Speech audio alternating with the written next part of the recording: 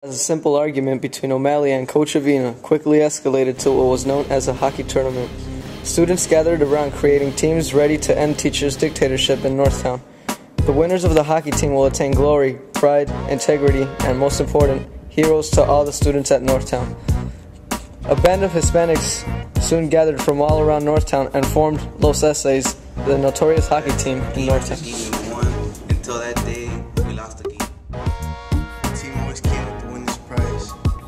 I don't know.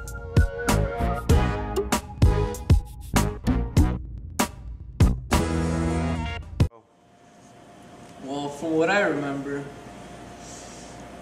O'Malley tried to say that he had a better hockey team than most of the Northtown students. I disagreed. So me and Los Eses get together and try to prove O'Malley wrong, that he's not the best. The hockey season was a joke to most of the students at Northtown at first. No one really took it serious, except for the players. For them, it was a fight of glory inside the school. This puck bounces in the net. It's Patrick Kane's goal. Wow. And it is 2-1 Eses? Oh yeah, I remember them. Uh, those lucky bastards, we almost had them one by one. Hispanics, they're not supposed to play hockey. And backhanded down the ice. And in! First time we played, we all thought we were going to lose because we were just Hispanics. We're unfamiliar with the rules. And the Hispanics play soccer, not hockey. We kick a ball around, we didn't use a stick in the puck. Our first game was close, but we won it by one. It gave us hope to go on and win more. Our team morale increased and started to, and we started becoming more confident. Our first game gave us a boost to play more, and to win more games. The next game, more members were interested to join those Eses, and and we let them in, so we have an advantage. Shot knocked down by Madden. Another try knocked down by Keith. Madden without a stick. It's broken. Doesn't matter. Hawks to the finals.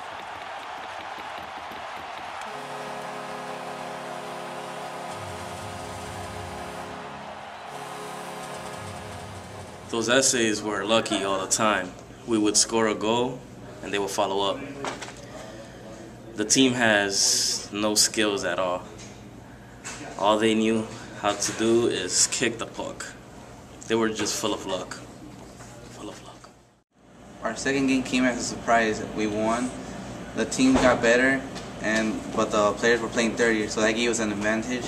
The, the, the time ran out, and the opposite team lost. Against the Washington Capitals, a 4-2 game. Alexander Ovechkin with two goals in the third, and then Bobby Bolin. Oh, big hit there for Steve on Erickson. Up, hands on to Zetterberg. In front, Bronson. Save made by Ue. Rafalski, and that one blocked. Another try. Score! Zetterberg! And it is 6 to 1. Ah, that day. Nothing was going well that day. No one was sticking to any of the game plans. Our players were playing really bad. The teachers were making bad calls. It was just, it was horrible.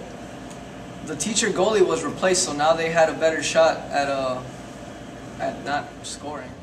Anything they can resume, they'll try on Wednesday. But a large win for Detroit. Oh, the reason I got mad, well, the reason was simple. They, the teachers just shut us down. It was the worst game I've ever been a part of. Worst game I've ever coached. I wish that would never ever happen again. Crazy. Dave Sheldon with the call.